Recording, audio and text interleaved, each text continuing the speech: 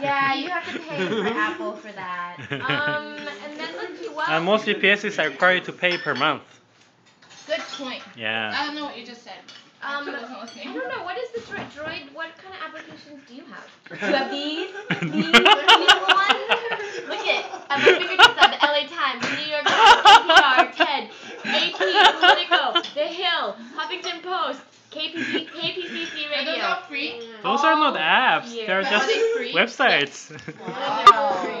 Wait, what about Droid? Android. What do you got, huh? it doesn't have those apps.